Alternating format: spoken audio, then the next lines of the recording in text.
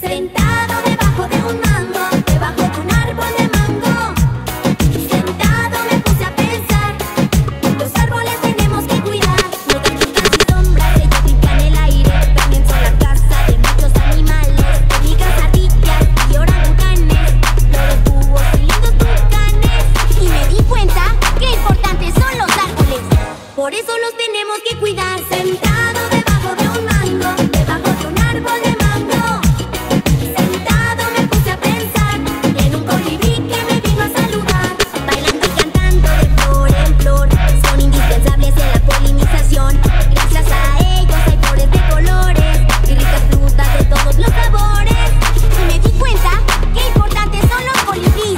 Por eso los tenemos que cuidar. Sentado debajo de un mango, debajo de un árbol de mango.